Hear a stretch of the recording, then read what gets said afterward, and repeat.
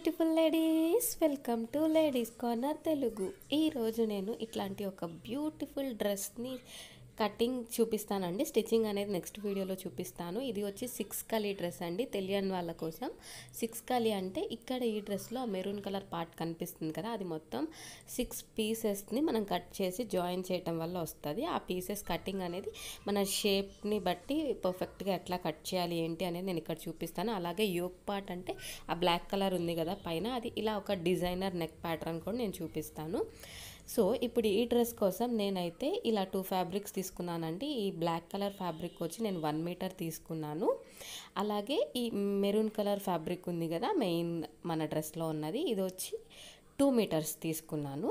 టోటల్గా నాకు ఈ డ్రెస్ అనేది త్రీ మీటర్స్లో అయిపోయింది. దట్టు ఫ్లేర్ చూసారా ఎంత వచ్చిందో? ఇలా రావాలంటే కటింగ్ ఎలా చేయాలనేది అది కొంచెం డిఫరెంట్ ఉంటుందండి. అది నేను మీకు ఇప్పుడు చూపిస్తాను.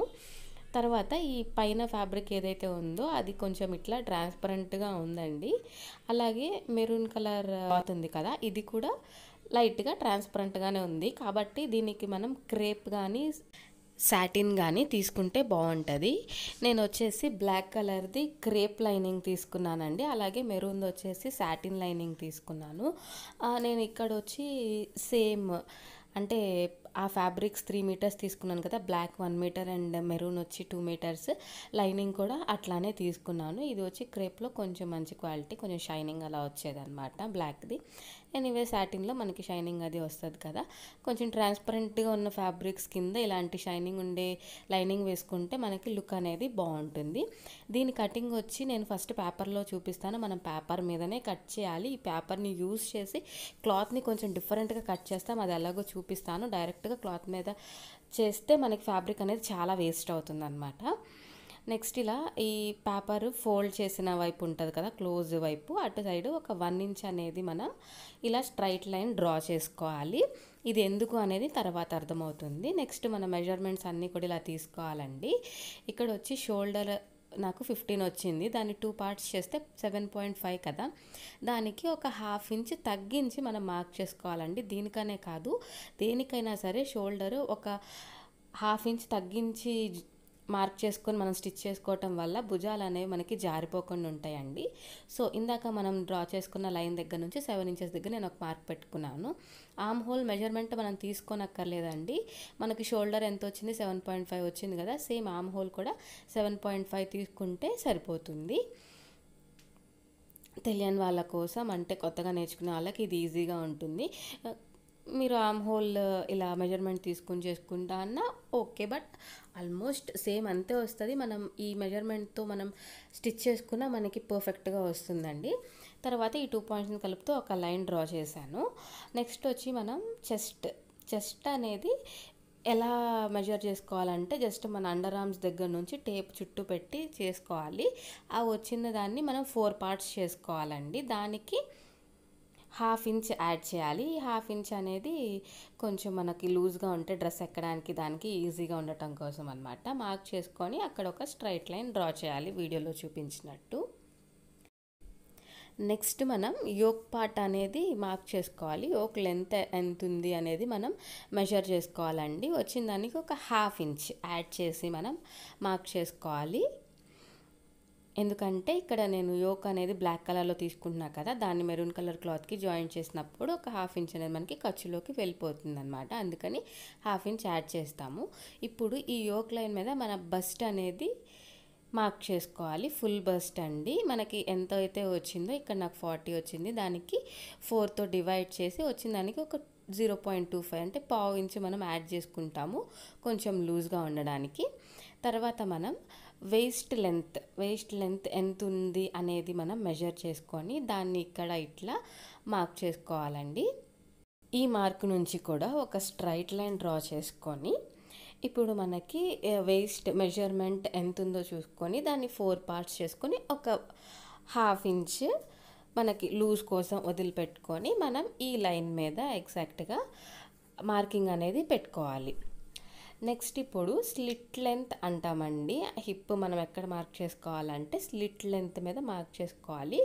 ఇది వచ్చి అందరూ కూడా ట్వంటీ వన్ ఇంచెస్ దగ్గర తీసేసుకోవచ్చు. మెజర్మెంట్ ఏం అక్కర్లేదు. ఒకసారి మెజర్ చేసుకున్న కొంచెం అటు ఇటుగా అదే ఉంటుంది కాబట్టి మనం ట్వంటీ వన్ దగ్గర మార్క్ చేసుకోవచ్చు. ఒకవేళ మెజర్ చేసుకోవాలనుకుంటే నార్మల్ డ్రెస్సెస్కి మనం స్లిట్ ఎక్కడి నుంచి అయితే పెట్టుకుంటామో అక్కడ వరకు మెజర్ చేసుకుని ఆ లెంత్ అయినా మనం తీసుకోవచ్చు. బట్ ట్వంటీ వన్ అనేది సరిపోయింది.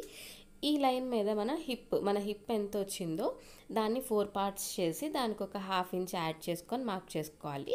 ఇప్పుడు మనం మార్క్ చేసిన ఈ ఫోర్ పాయింట్స్ని కూడా ఇలా ఫ్రీ హ్యాండ్తో జాయిన్ చేసుకోవాలండి మన డ్రెస్ షేప్ ఇచ్చుకుంటూ. ఇప్పుడు ఖర్చు కోసం ఒక వన్ పాయింట్ ఫైవ్ ఇంచెస్. మనం మార్క్ చేసిన ప్రతి పాయింట్ నుంచి వన్ పాయింట్ ఫైవ్ ఇంచెస్ మనం ఇట్లా మార్క్ చేసుకోవాలి. నాకు ఇక్కడ వన్ పాయింట్ ఫైవ్ లేదు కింద అంటే పేపర్ సరిపోలేదు. తర్వాత నేను క్లాత్ కటింగ్లో అడ్జస్ట్ చేసుకుంటాను. మీరైతే మంచిగా ఇట్లా వన్ పాయింట్ ఫైవ్ తీసుకుని దాన్ని కూడా డ్రా చేసుకోవాలి. తర్వాత ఇప్పుడు మనం ఆమ్ హోల్ ఇంకా నెక్ ఈ టూ ప్యాటర్న్స్ అనేవి ఎట్లా మార్క్ చేసుకోవాలో చూపిస్తానండి. ఇప్పుడు మనం షోల్డర్ వచ్చేసి ఇది బోట్ నెక్ తీసుకుంటున్నాను నేను. కాబట్టి ఇక్కడ నెక్ వచ్చి నేను ఫోర్ ఫోర్ ఇంచెస్ తీసుకున్నానండి. నార్మల్ నెక్ అయితే మనం త్రీ ఇంకా టూ అండ్ హాఫ్ కూడా తీసుకోవచ్చు. ఇది బోట్ నెక్ కాబట్టి ఫోర్ తీసుకున్నాను. అలాగే నేను బోట్ నెక్ డీప్ డీప్ వచ్చేసి త్రీ తీసుకున్నానండి. ఈ రెండింటిని ఇట్లా ఒక స్క్వేర్లా డ్రా చేసుకొని మనం నార్మల్గా బోట్ నెక్కి ఎట్లా అయితే ఫ్రీ హ్యాండ్తో ఇలా డ్రా చేసేస్తామో బోట్ షేప్లో అట్లా నెక్ షేప్ అనేది మనం ఇచ్చుకోవాలి. ఇప్పుడు ఆమ్ హోల్ డ్రా చేయటం ఎట్లా అంటే ఇక్కడ మనం ఈ లైన్ ఏదైతే ఉందో దానిలో ఎగ్జాక్ట్గా హాఫ్ దగ్గర ఒక మార్క్ చేసుకోవాలండి. అంటే ఇందులో హాఫ్ ఎంత అని తెలుసుకోవడానికి ఇలా ఈజీగా మనం టేప్ని మడత పెట్టి కూడా తీసుకోవచ్చు. ఇప్పుడు ఆ మార్క్ దగ్గర నుంచి ఒక హాఫ్ ఇంచ్ లోపలికి మన లైన్ లోపలికి ఒక మార్క్ చేసుకోవాలి. చేసుకొని ఇప్పుడు ఇక్కడ ఇది ఉంది కదా మనం ఎక్కడైతే మార్కింగ్ పెట్టుకున్నామో అక్కడ నుంచి లోపల పాయింట్ని కలుపుతూ ఇలా ఆమ్ హోల్ షేప్ అనేది ఇచ్చుకుంటూ మనం డ్రా చేసుకోవాలి. అట్లాగే లైన్ మీద మనం తీసుకున్న పాయింట్ దగ్గర ఇంకొకటి డ్రా చేసుకోవాలి. ఇటు లోపలికి వచ్చిందేమో మనది ఫ్రంట్ ఆమ్ అండి అది వచ్చి మనకు కొంచెం డీప్ తీసుకుంటాం కదా అదన్నమాట. నెక్స్ట్ ఇప్పుడు మనం ఈ మధ్యలో లైన్స్ డ్రా చేసాం కదా అంటే yoke length waist length hip length ఇవన్నీ మార్క్ చేసుకున్నాం కదా లైన్స్. వాటి మీద మనం కొన్ని మార్కింగ్స్ అనేవి పెట్టుకోవాలండి. వాటి వల్లనే మనకు కలీస్ అనేవి వస్తాయి. అది ఎలాగో ఇప్పుడు నేను చూపిస్తాను. చెస్ట్ మెజర్మెంట్ని బట్టి ఈ మార్కింగ్ అనేది మనం పెట్టుకోవాలండి. Twenty four to thirty two వరకు ఉంటే మనం త్రీ దగ్గర మార్క్ చేసుకోవాలి. థర్టీ టూ నుంచి థర్టీ ఎయిట్ వరకు త్రీ అండ్ హాఫ్ అలాగే thirty eight and above four దగ్గర మార్క్ చేసుకోవాలి. ఇక నాకు థర్టీ ఎయిటే కాబట్టి నేను త్రీ అండ్ హాఫ్ దగ్గర మార్క్ చేసుకున్నాను. అది యోక్ లెంత్ లైన్ మీద అలాగే హిప్ లెంత్ లైన్ మీద కూడా సేమ్ త్రీ అండ్ హాఫ్. మధ్యలో ఉన్న వేస్ట్ లైన్ ఉంది కదా దాని మీద మాత్రం ఒక హాఫ్ ఇంచ్ తగ్గించి డ్రా చేసుకోవాలి. అంటే మీరు త్రీ తీసుకున్నా త్రీ అండ్ హాఫ్ తీసుకున్నా ఫోర్ తీసుకున్నా మధ్యలో ఒక హాఫ్ ఇంచ్ తగ్గించి డ్రా చేసుకొని ఇట్లా ఈ మూడు మూడు మార్కింగ్స్ని కలుపుతూ ఒక లైన్ అనేది డ్రా చేసుకోవాలి. అట్లానే ఇక్కడ మనం షోల్డర్ అనేది కొంచెం క్రాస్ తీసుకుంటాం కదా దానికోసం ఆ షోల్డర్ లైన్ మీద ఒక హాఫ్ ఇంచ్ పెట్టుకుని దాన్ని ఇలా డ్రా చేసుకున్నాను. ఇప్పుడు మనం దీన్ని కటింగ్ అనేది చేసుకోవాలి. ఈ కటింగ్ ఎప్పుడూ కూడా ఆమ్ హోల్ దగ్గర మనం ఫ్రంట్ ఆమ్ హోల్ డ్రా చేసుకున్నాం కదా దాని నుంచి కట్ చేయకూడదండి. బ్యాక్ ఆమ్ హోల్ ఏదైతే ఉందో దాని నుంచే కట్ చేయాలి. అలాగే ఆ చివరి వచ్చేసి మనం ఖర్చు పెట్టాం కదా దాని మీద నుంచి కట్ చేయాలి. కట్ చేసిన తర్వాత ఈ కింద ఎక్స్ట్రా ఉంది కదా మన హిప్ లెంత్కి ఆ లైన్ కన్నా కింద కొంచెం ఎక్స్ట్రా పార్ట్ ఉంది కదా అది కూడా సపరేట్ చేసేసుకోవాలి. ఈ కలీ టైప్ ఆఫ్ డ్రెస్సెస్లోనే ఇంకా చాలా చాలా మోడల్స్ కూడా ఉన్నాయండి. ఇది సిక్స్ కలీ కదా అలాగే ట్వెల్వ్ కలీ అంటే ట్వెల్వ్ పీసెస్తో జాయిన్ చేసిన డ్రెస్ అట్లా కూడా చాలా ఉన్నాయి. అవి కూడా నేను నా ఫ్యూచర్ వీడియోస్లో చూపిస్తాను. ఫాలో అవుతూ ఉండండి. అలాగే ఇక్కడ మన నెక్ ప్యాటర్న్ అంటే డ్రా చేసుకున్నాం కదా అది కూడా నేను ఇక్కడ కట్ చేసేస్తున్నాను. ఇప్పుడు ఏం చేయాలంటే మన యోక్ లెంత్ మనం ఎక్కడైతే ఆ లైన్ డ్రా చేసుకున్నామో అక్కడికి మనం సపరేట్ చేసేయాలండి. ఇలా కట్ చేసుకొని సపరేట్ చేసిన తర్వాత ఈ కలీస్ కోసం మధ్యలో ఒక లైన్ డ్రా చేసాం కదా అది కూడా కట్ చేసుకొని ఈ టూ పీసెస్ని కూడా సపరేట్ చేసుకోవాలి. ఇప్పుడు మనకి టోటల్గా ఫోర్ పీసెస్ వస్తాయి పేపర్. పైది వచ్చేసి ఇది యోక్ పార్ట్ అనమాట తర్వాత ఇది ఇలా ఓపెన్ చేస్తే ఇలా వస్తుంది. మనకి పైన యోగ్ పాట అనేది ఇలా వస్తుంది. నెక్స్ట్ ఇది ఉంది కదా చిన్న పీస్ అది వచ్చి సెంటర్ పీస్ అండి. అది సింగిల్ పీస్ వస్తుంది. రెండు అతుక్కొని ఉంటాయి కింద పైన కూడా. అండ్ ఇవి వచ్చి సైడ్ కలీస్. ఇవి వచ్చి టూ పీసెస్ వస్తాయి. మనం ఈ సెంటర్ కలీకి అటొకటి ఇటొకటి ఇట్లా పెట్టేసామంటే మనకు ఆ షేప్ అనేది వస్తుంది అనమాట నేను జస్ట్ మీకు ఒక ఐడియా రావటం కోసం చూపిస్తున్నాను. అలాగే పైన ఇలా యోగ్ ప్యాటర్న్ మనం డ్రెస్ స్టిచ్ చేసినప్పుడు ఇలా వస్తుంది. వీటితో కిందది కూడా పార్ట్ ఎలా కట్ చేయాలి అనేది నేను ఇప్పుడు మీకు చూపిస్తాను. ఈ సైడ్ కలి పేపర్స్ వచ్చి రెండు ఉన్నాయి కదా. అందులో ఒకటే మనకు సరిపోతుంది. మనకి ఇప్పుడు మార్కింగ్కి. సో నేను ఇక్కడ షోల్డర్ క్రాస్ తీయటం మర్చిపోయాను కటింగ్లో. అందుకే ఇప్పుడు చేశాను. సో ఇప్పుడు మన యోగ పార్ట్ ఏదైతే తీసుకుంటున్నామో దానికోసం కట్ చేసిన పేపర్ తీసుకొని మన లైనింగ్ ఫ్యాబ్రిక్ని ఫస్ట్ కట్ చేసుకోవాలండి. కాటన్ లైనింగ్ అయితే చాలా చాలా ఈజీగా చేయొచ్చు. ఇది క్రేప్ కాబట్టి కొంచెం జాగ్రత్తగా చేసుకోవాల్సి ఉంటుంది. ఇక్కడ నేను క్లాత్ ఎక్కువ వేస్ట్ చేయకుండా మీకు కటింగ్ అనేది ఎలా చేసుకోవాలో చూపిస్తున్నానండి. ఫస్ట్ ఆ పేపర్ పెట్టుకొని ఆ లెంత్ ఎంత ఉంది అనేది మనం సుమారుగా మార్క్ చేసుకొని అక్కడ వరకు ఇలా ఒక ఫోల్డింగ్ తీసుకోవాలి. సో దట్ మనకి ఎగ్జాక్ట్గా వస్తుంది. ఎంత కొంచెం ఉంటుంది అంతే ఎక్స్ట్రా ఖర్చు. ఎక్కువ క్లాత్ అనేది మనకి వేస్ట్ అవ్వకుండా ఉంటుంది అనమాట సో మనకు మనమే డ్రెస్సులు కుట్టుకుంటే ఇదేనండి లాభం. క్లాత్ ఎక్కువ వేస్ట్ చేయకుండా ఉంటాం కాబట్టి మనకి కాస్ట్ అనేది చాలా తగ్గుతుంది అదే మిషన్ దగ్గర ఇచ్చేసామంటే ఇట్లాంటి ఒక డ్రెస్ కుట్టడానికి ఈజీగా ఫోర్ ఫైవ్ మీటర్స్ అలా ఫ్యాబ్రిక్ అనేది యూస్ చేసేస్తారు. సో మనం బ్యాక్ యోక్ పార్ట్ కట్ చేసేటప్పుడు ఒకటి గుర్తుపెట్టుకోవాల్సింది ఏంటంటే ఫస్ట్లో మనం ఇక్కడ వన్ ఇంచ్ అనేది ఎక్స్ట్రా మార్క్ చేసుకున్నాం కదా దాన్ని నేను ఇక్కడ ఫోల్డ్ చేశాను చూసారా? అలా ఫోల్డ్ చేసి ఈ మార్కింగ్ అనేది పెట్టుకొని దాన్ని మనం కట్ చేసుకోవాల్సి ఉండిద్ది. మనకి ఫ్రంట్ పార్ట్లో కట్ చేసేటప్పుడు మాత్రం అది మనం ఫోల్డ్ చేయమండి. ఆ వన్ ఇంచ్ ఎక్స్ట్రా తీసుకొని కట్ చేస్తాము. అది ఎట్లా కూడా నేను ఇప్పుడు చూపిస్తాను. ఈ పార్ట్ అనేది మనం తీసేసిన తర్వాత ఇది బ్యాక్ పార్ట్ అన్నమాట. దానికోసం మనకి గుర్తుండడానికి అంటే పది పద్దాకా లెంత్ చూసుకోకుండా అలా మార్క్ చేసుకుంటే ఈజీగా ఉంటుంది. ఇందాక మనం ఇది కట్ చేయడానికి ఎగ్జాక్ట్గా ఫోల్డింగ్ అనేది వేసాం కదండి. సో ఇప్పుడు దీని మీదే ఈ ఫ్రంట్ పార్ట్ కట్ చేయాలంటే కుదరదు. ఎందుకంటే ఇటు సైడ్ మనకు క్లాత్ అనేది సరిపోదు అనమాట ఇక్కడ వరకే ఉంది చూసారా? అందుకని అనమాట సో ఇప్పుడు మనం ఏం చేస్తామంటే దీన్ని పెట్టుకొని చూసుకొని ఎంత లెంత్ ఉందనేది చూసుకొని ఇంకొంచెం ముందుకు జరుపుకొని మన లైనింగ్ ఫ్యాబ్రిక్ని ఫోల్డింగ్ అనేది వేసుకోవాలి. సో ఇందాక మనం ఫ్రంట్ ఆమ్ హోల్ అనేది కట్ చేయలేదు కదా. సో ఇప్పుడు మనం అది కూడా కట్ చేసుకోవాలండి. ఎందుకంటే ఇప్పుడు దీన్ని బట్టి మనం మార్క్ చేసుకొని మన లైనింగ్ అనేది కట్ చేసుకుంటాం కదా. దాని గురించి అనమాట మన ఫ్రంట్ ఆమ్ హోల్ కూడా మనం డ్రా చేసుకున్నట్టుగా కట్ చేసేసుకోవాలి. మనకి ఫ్రంట్ యోక్ పార్ట్లో ఎక్స్ట్రా వస్తుంది కదా మధ్యలో. ఇప్పుడు నేను అక్కడ one inch వదిలానంటే one plus one two inches అనేది మనకి ఎక్స్ట్రా వస్తుంది. అది ఎందుకు అంటే నేను ఇందాక నెక్ ప్యాటర్న్ చూపించాను కదా కొంచెం డిఫరెంట్గా ఉందని. సో నేను ఇక్కడ యాడ్ చేశాను చూడండి. ఆ క్లాత్ మనకి ఓవర్లాప్ అయింది చూసారా? అక్కడ మనకి హుక్స్లు వస్తాయి. హుక్స్లు కానీ ప్రెస్ బటన్స్ కానీ మన ఇష్టం మనం ఏదైనా పెట్టుకోవచ్చు. అందుకని అనమాట ఇది. స్టిచ్చింగ్ చూసినప్పుడు మీకు అర్థమవుతుంది. సో ఇప్పుడు ఆమ్ హోల్ కూడా కట్ చేసిన తర్వాత సేమ్ ఇందాకట్లాగానే ఈ యోగ్ ప్యాటర్న్ అనేది మనం మన క్లాత్ మీద పెట్టుకొని ఇక్కడ కొంచెం జాగ్రత్తగా ఉండాలండి. బోత్ యోక్ పార్ట్స్ కట్ చేసేటప్పుడు మనకి పేపర్లో ఎట్లా అయితే ఓపెన్ ఎడ్జెస్ ఉన్నాయో అవి మనకి క్లాత్లో కూడా ఓపెన్ వచ్చే దగ్గరే పెట్టుకోవాలి. క్లోజ్ ఎడ్జ్ అనేది క్లోజ్ ఎడ్జ్లోనే పెట్టుకొని మనం కట్ చేసుకోవాలి. రివర్స్లో పెట్టామంటే మళ్ళీ రెండు రెండు ముక్కలు వచ్చి క్లాత్ అంతా మనకి వేస్ట్ అయిపోతుంది. సో ఇప్పుడు దీన్ని కూడా మనం ఇలా నీట్గా మార్క్ చేసుకోవాలి. ఎప్పుడైనా మనం కటింగ్ చేసేటప్పుడు లైనింగ్ అనేది ముందు కట్ చేసుకోవాలండి. అండ్ అది పర్ఫెక్ట్గా కూడా మనకు అన్ని కొలతలు మడతలన్నీ మంచిగా వేసుకొని పర్ఫెక్ట్గా కట్ చేసుకోవాలి. దాన్ని బట్టే మన మెయిన్ ఫ్యాబ్రిక్ని తర్వాత కొంచెం అటు ఇటుగా అంటే మీన్ కొంచెం ఎక్కువ కట్ చేసుకున్న అడ్జస్ట్ చేసుకోవడానికి ఈజీగా ఉంటుంది. మనకి పర్ఫెక్ట్గా వస్తుంది డ్రెస్ అనేది. సో మార్కింగ్ అయిపోయిన తర్వాత దీన్ని కూడా కట్ చేసేసుకొని దీని మీద కూడా ఇందాక బ్యాక్ పార్ట్ మీద ఎలాగైతే మార్క్ చేసుకున్నామో దీని మీద కూడా ఏదో ఒక మార్కింగ్ ఫ్రంట్ అని మనకి గుర్తుండడానికి ఏదో ఒక మార్కింగ్ చేసుకొని పక్కన పెట్టుకోవాలి. ఇప్పుడు ఈ రెండింటిని యూజ్ చేసి మనం మెయిన్ ఫ్యాబ్రిక్ని కూడా మనం కట్ చేసేసుకోవాలి. ఈ మెయిన్ ఫ్యాబ్రిక్ అనేది ఎప్పుడైనా కొంచెం ఎక్స్ట్రానే కట్ చేసుకోవాలండి.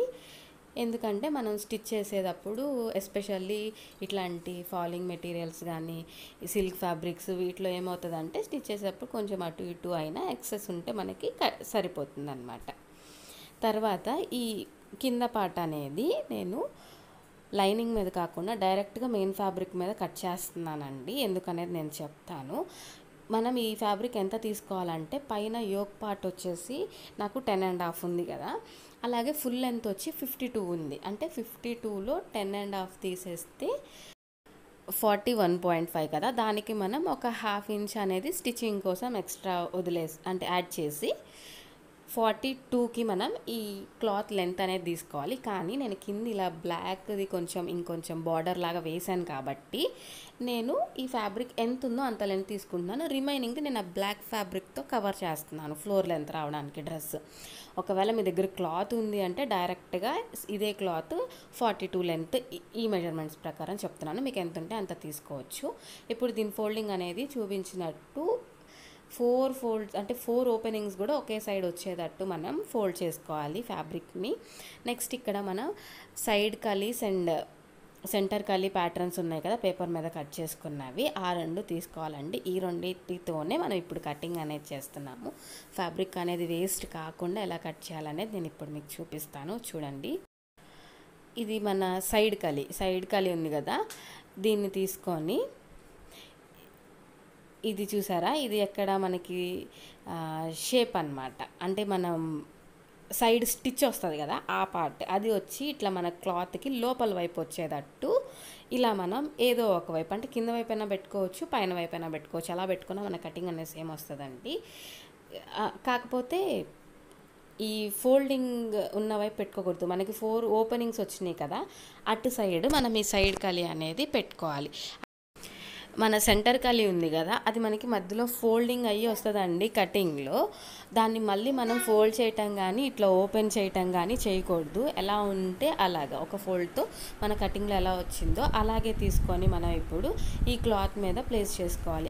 ఇక్కడ ఇంకొక ఇంపార్టెంట్ విషయం ఏంటి అంటే మనం పేపర్ కట్ చేసుకున్నప్పుడు ఒక లెంత్ దగ్గర ఇలా మనం అడ్డంగా కట్ చేసాం కదండి మన ఈ కలీ ప్యాటర్న్స్ కోసం.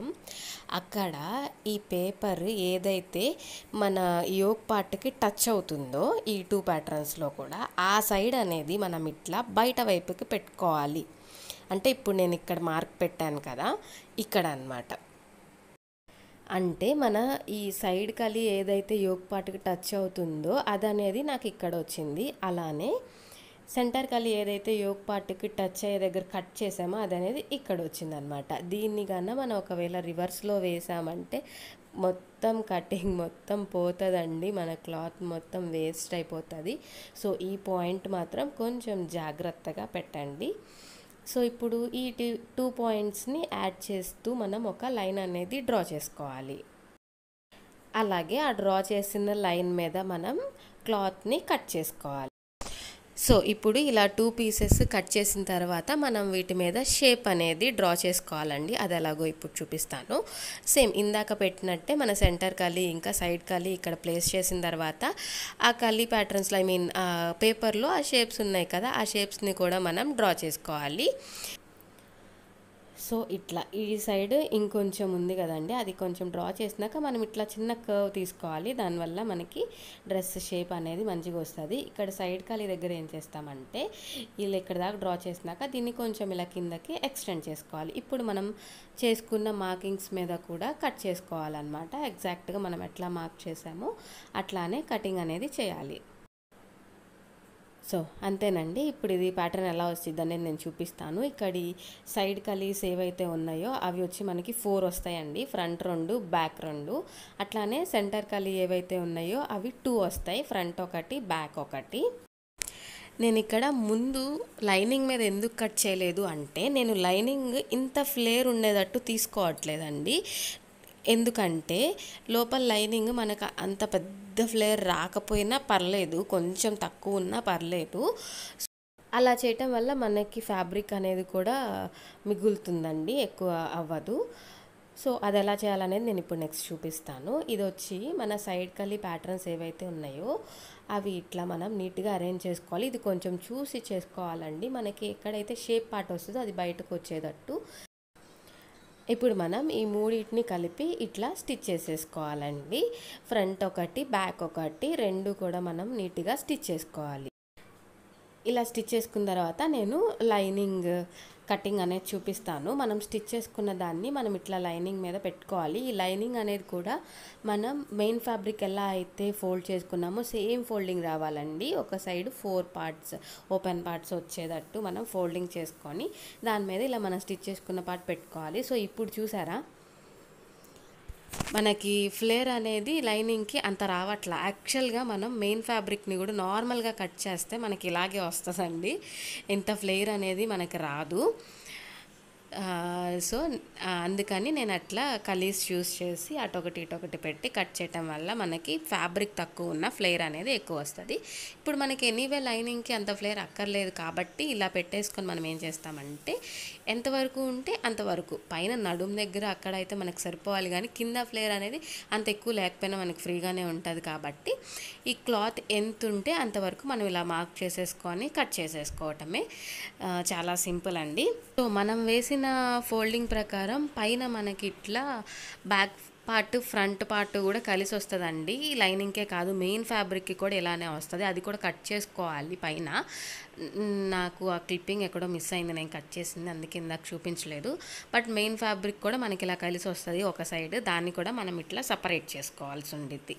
సో సపరేట్ చేసిన తర్వాత మన లైనింగ్ ఫ్యాబ్రిక్ ఇలా తీసుకొని దాని మీద మన మెయిన్ ఫ్యాబ్రిక్ అండి. ఇది కొంచెం చూసుకొని వేసుకోవాలి. లైనింగ్ ఫ్యాబ్రిక్ రైట్ సైడ్ అనేది పైకి ఉంటే మెయిన్ ఫ్యాబ్రిక్ కూడా రైట్ సైడ్ అనేది పైకే రావాలి. లోపలికి వెళ్ళకూడదు. ఇట్లా చూసుకొని మనం ఒక స్టిచ్ అనేది పైన నడుం దగ్గర నడుం కాదు పైన యోక్ పార్ట్ దగ్గర వస్తుంది. ఈ రెండింటిని జాయిన్ చేస్తూ అక్కడ ఒక స్టిచ్ అనేది వేసేసుకోవాలి. So next remaining stitching neck pattern ఇదంతా నేను నెక్స్ట్ వీడియోలో క్లియర్గా చూపిస్తాను. ఆ వీడియో మిస్ అవ్వకూడదు అనుకుంటే please subscribe to Ladies Corner Telugu and bell ఐకాన్ని యాక్టివేట్ చేయండి.